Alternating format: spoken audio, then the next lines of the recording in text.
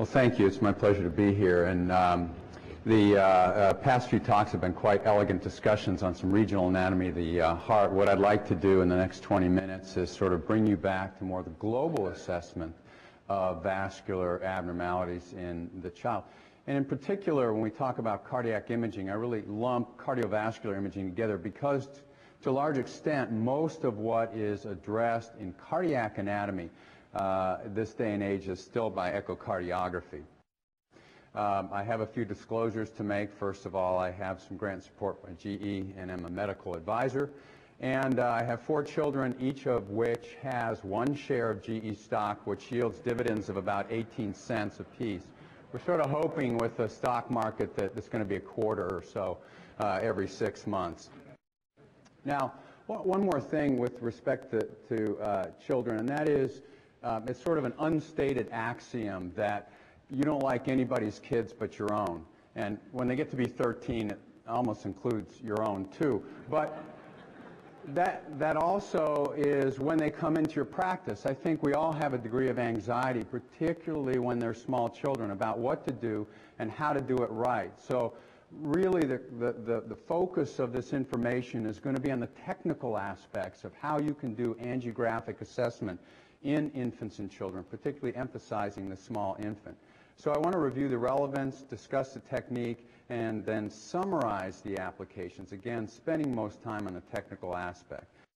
So what is, what is the relevance here? We have lots of ways of looking at cardiovascular structures in uh, children, but there are some distinct advantages in kids with CT versus MR and echocardiography. First of all, we have uh, less need for sedation. And this is a, a critical uh, uh, component. If we only have to sedate kids between about one and two years of age versus echo, where they're routinely uh, sedated up through a few years of age, and MR up to about six years of age, that's a tremendous advantage.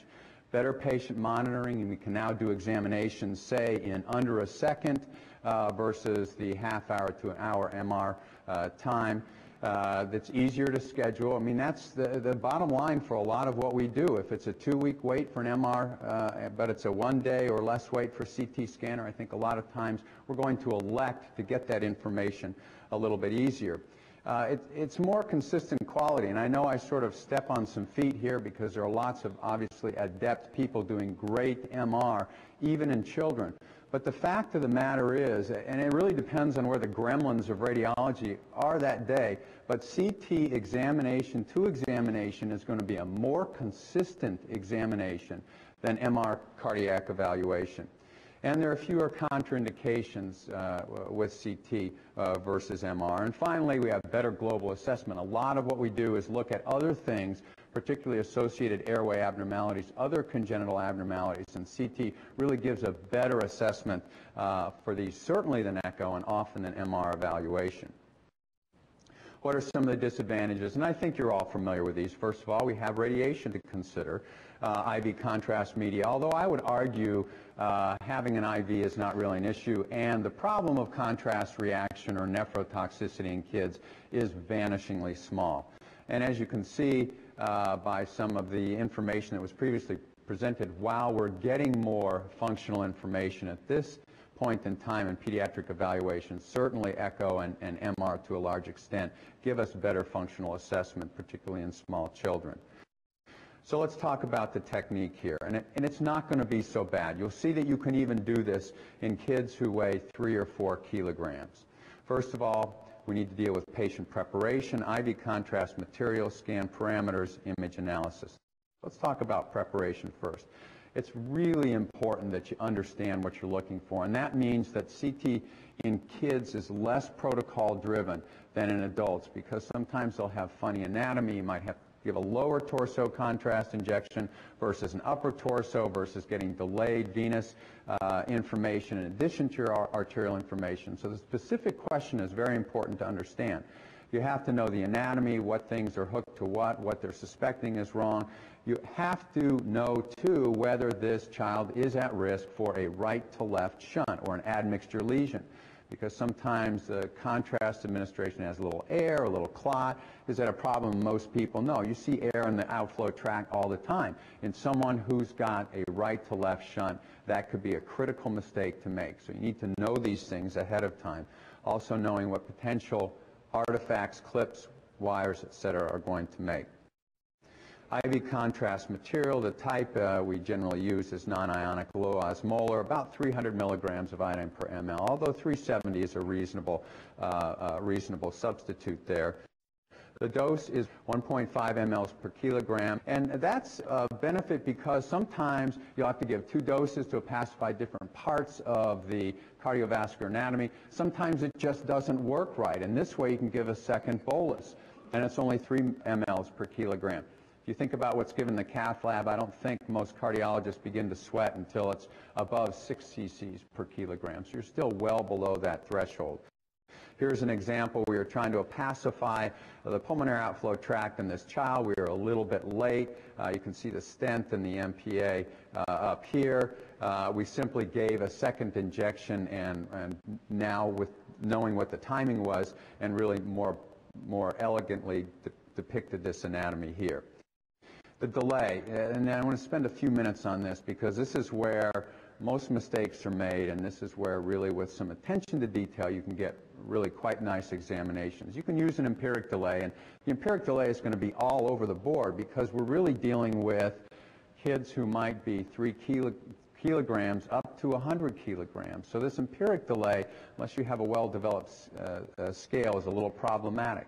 Uh, it's as little as five seconds for optimum arterial enhancement in the smallest children. So the empiric delay is a little problematic. I tend to use bolus tracking. You can either, in the older child, use that to start your scanning when you see it get to, say, the right ventricle or the left ventricle, or you can use a test bolus, and I'll go over the details of the test bolus.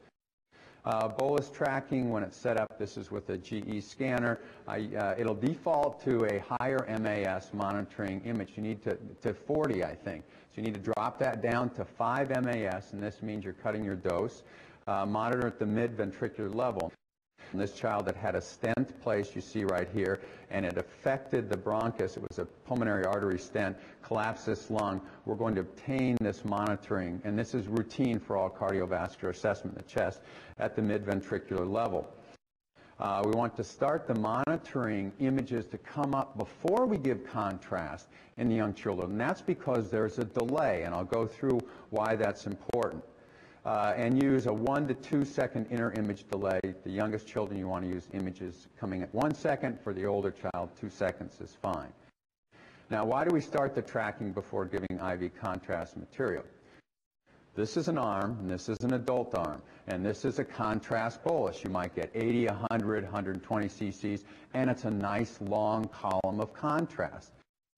This now is a pediatric arm. This is what we're going to give a uh, three kilo child, which is maybe five and a half cc's.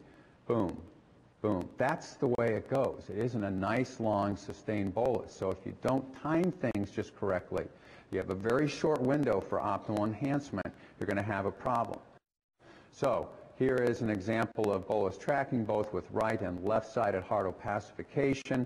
On the adult vein, this is going to be the injection duration. In the pediatric vein, that is realistically your injection duration. And you can see why there's a very small bolus.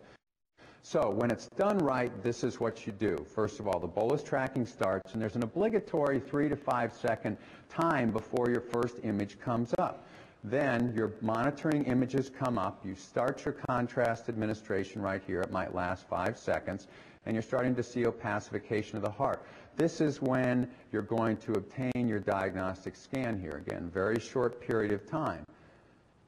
And your scan duration, uh, this is going to be optimal enhancement. This is when your scan duration goes. Now you can see it's about five seconds uh, from the time you start the contrast to the time optimal enhancement and the scan is going to happen. This is the same as the obligatory hardware delay here. So in this situation, we've done it right. We've obtained our scan during the optimal enhancement.